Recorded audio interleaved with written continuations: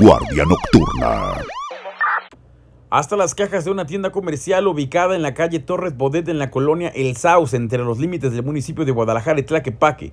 Llegó un sujeto desconocido para exigirles el efectivo a las cajeras que se encontraban en ese momento realizando el cambio de turno. Sin embargo, una de estas se negó a entregar el dinero, por lo que el ladrón disparó contra esta mujer lesionándola en uno de esos pómulos con un arma de postas, mismas que funcionan con aire a presión, dejándola tirada en el suelo para posteriormente apoderarse del dinero y darse a la huida con rumbo desconocido. Los empleados y compradores al ver esto llamaron al 911 por lo que acudieron paramédicos del municipio quienes a su arribo localizaron a una mujer lesionada. Elementos de la comisaría de policía de Tlaquepaque realizaron la búsqueda en los alrededores del presunto agresor, sin embargo, este no fue localizado.